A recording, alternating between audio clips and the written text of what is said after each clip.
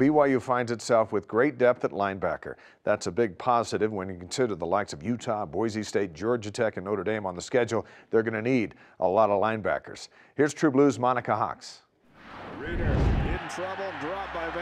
After a 10-win season, the BYU linebackers are a week into spring practice, and there's nothing slowing them down. Just working hard.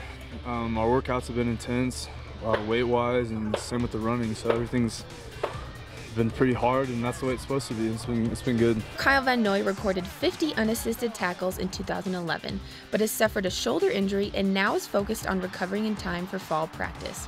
So, what's he doing in the offseason to make sure he gets back to full swing? Eating. Nah, just kidding. Uh, I've been doing just uh, bike, on the bike, little stuff, nothing crazy too far.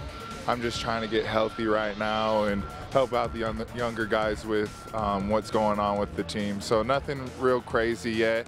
I'll start rehab in a couple weeks, so I'm pretty excited to get back here. Spencer Hadley saw action on the field in all 13 games last season as an inside linebacker, but he's making the switch to outside.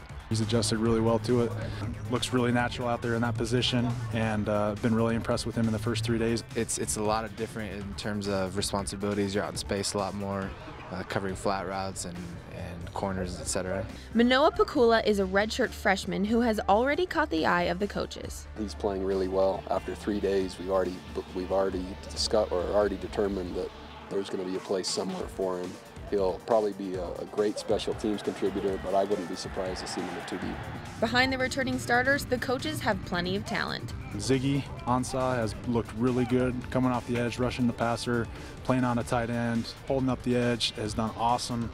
And uh, then it would be uh, Alani Fua, kind of the same thing, has been able to rush the passer really well in these first three days and uh, has come a long way. Being a redshirt freshman the last year, now being in the sophomore year, understands the scheme better, and it's just fun to see all these guys progressing. And I'm just excited to see where they're going to go over these next 12 practices.